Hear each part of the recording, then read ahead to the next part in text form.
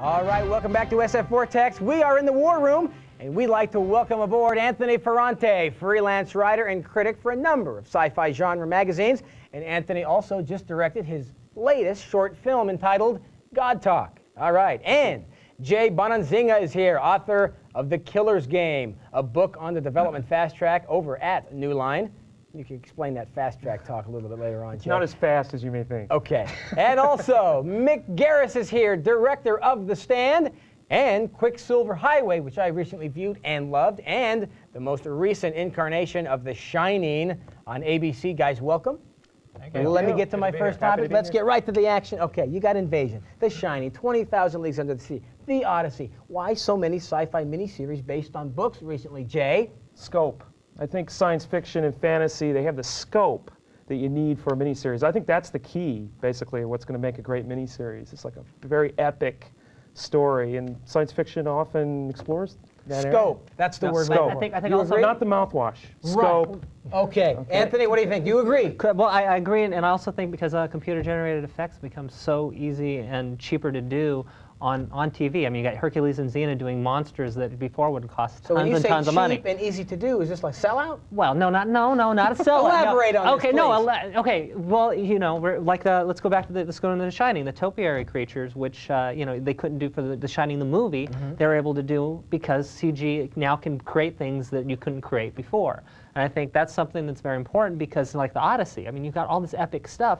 You couldn't do this without spending like you know a couple hundred million dollars. Now you can do it for you know 20 or 40 or however much that that costs. Mick Garris, you may know a thing or two about this whole miniseries thing. What do you think? Uh, I think it's not as inexpensive to make those effects as, as you might imagine. We spent about a million and a half dollars just on digital effects in The Shining, which was not a heavily effects-oriented show.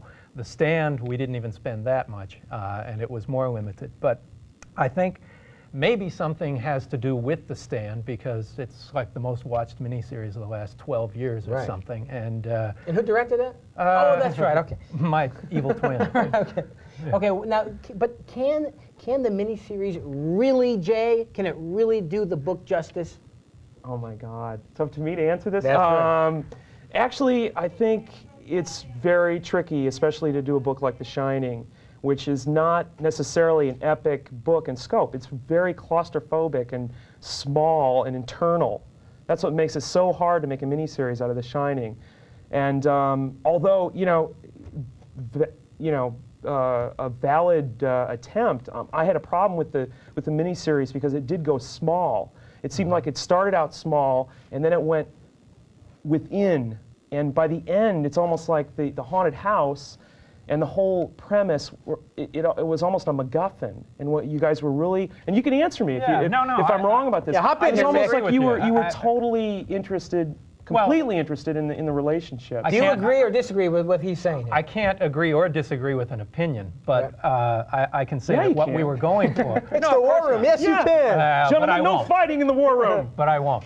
Um, but I, I do feel that the best way to adapt a novel that lends itself to cinematic adaptation is by a miniseries, because the whole point is to wind the clock, to learn who those people are, to understand what motivates them, where they're going, uh, and, and The Shining, I think, is a great example of that. That first two hours is certainly slower than the second and third night's uh, installments, but it's what Steve Weber referred to as winding the clock, and I think that's a great term for it. By You the way, he was who those people outstanding. are. I thought. In There, yeah. There, there- there's character stuff though that you can get away with on miniseries that you can't get away with on film. Such as? Well, there, there's a scene in The Shining where um, Rebecca De Mornay and Steven Weber sit and talk for like a whole act. It's like you know just in one room, and it's one of the most amazing things I've seen on, on done on television. In that it's all this character stuff and all these emotions.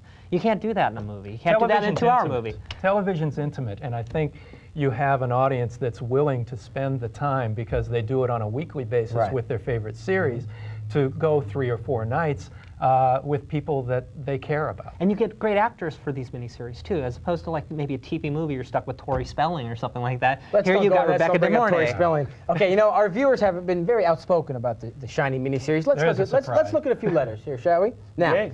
Kira McDee writes, as wonderful as King's novels are, they are rarely made into good movies. Well, And Patrick D writes, all these D's. Patrick D writes, I've seen the miniseries and the movie version. I think the movie was much better. How do you feel you, you hear a letter like that, Mick? Well, he saw the movie and thought it was better. Good. There are a lot of people who like the miniseries better. There are people who. I, I kind of resent that everyone wants to turn it into a competition. I wasn't sitting there every day going, "How am I going to outfox Stanley Kubrick?" Right. Yeah, but I'm a don't- huge don't think- Kubrick how, fan. How can you avoid? I mean, I, I agree with you emotionally. I would feel exactly the same way, but how can you avoid? You know, like you're you're remaking Stagecoach. You're rema- I personally think it's a classic well, of I'm the not genre. I remaking mean, his movie. no, but I, I know but you're you're making the book. Right. You're making the book, but personally, I I'm an, I write books, and I'm not sure. That's what adapting is all about: is making a book. I think. Well, it's, no, I think- Look at the thing. Look at Yeah. the thing. The, the, who who goes there was the was the Campbell. Was it Campbell? Yeah, who wrote the Campbell, short story? and that was- the, the, origi- the, origi- the original movie uh, was was great from the 50s. It was a great Howard Hawks film. Mm-hmm. But I think John Carpenter nailed that movie, and I think The Thing Yeah. stands as one of the best horror films of the of the 80s. It is I fa- agree fantastic, and he's able to do more with that that story that you couldn't do maybe back in the 50s. And every medium ha- affords its own uh, pluses and minuses. And you know, because of the time between the 50s and the 80s, you got to do more stuff um, with monsters Carpenter's and stuff. Carpenter's film was very different from. But, but, but with Shining, too. it's I like a mean, mini it's- series versus a theatrical movie. the, the art of adapting is, is adapting. Well, books aren't me. movies. I mean, I agree with you. Books are not movies, but some books, like The Shining, like The Stand, are cinematic I books. totally agree with you on the stand. I mean, this is I think this is uh where we agree to disagree. Is the stand works in the miniseries format because of the scope.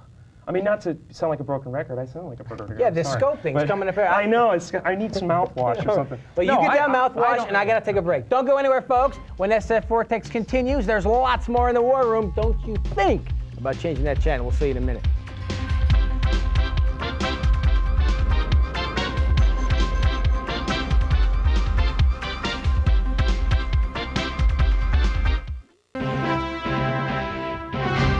Why was Jack Torrance so upset with wife Wendy?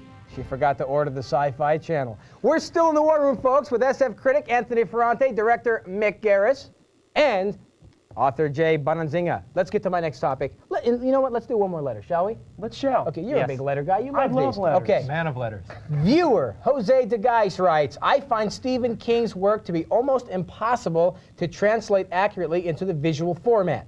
The fear in his book starts in the head and is then expressed physically. Kind of an interesting point, Jay. What do you think? Uh, yeah, I agree with it. I, I, in, a, I, in a way, I do agree with it. It's like I've always thought the reason that Stephen King's hard to translate are the parentheses. Stephen King has this wonderful, almost patented thing he does where the character, terrible things are happening, and then there's these awesome, you know, weird, creepy uh, thoughts and signals and stuff in parentheses, parenthetical things, or in italics, and it just like jars you. And that is untranslatable to film. You can't that's film a filmmaker's job is to try to translate that. And uh, the the Dead Zone, I thought, was a brilliant movie that David Cronenberg directed. Misery. Stephen, Misery was a terrific But one. did it get his Carrie voice? was terrific. Did he- I Absolutely. don't think But, but it's not necessarily no, about no. a voice though, because The you're Dead never, Zone, you're you never, you're ne- oh, King's no, the voice. dead, the dead zone though is a, you know you have to create certain things in movies that you can't create in books. And books aren't movies. Yes, books exactly. are internal. You Movies know, are external. I you think- have to externalize the internal. you know, when you're Misery, you're Oh, reading exactly. over the That's, course that's, of, of that's like where what, the art comes from. But, but people You- are wondering why they can't capture Stephen King's voice. And I think the reason is part, the, a huge part of his voice is the internal stuff in Of his course books. it is. Of Did you capture his voice? Which is Well, that's not for me to say. That's for everyone else to say. Uh, um, Well, I think he did. Guys, what do you think? I think he did. Yeah, he did. Let me ask you this. What's Jay's it, a I'm, little what's oh, it I'm not like sure. having- I'm not sure anybody Well, has. no. I'm not. I'm sure. It's. I think it's hard. I don't think Kubrick did. I thought Kubrick's film was brilliant, but I, I'm not sure Kubrick did either. What's it like having Stephen King hanging around? I mean, was he around? Was he- Absolutely. I it's mean, the greatest thing you could possibly hope to have if you're ad- uh, adapting his work. Right. Uh, when you have him around for the support and to bounce ideas off of him, he's incredibly collaborative and a really terrific human being in addition to being a wonderful artist and a pulp artist as well.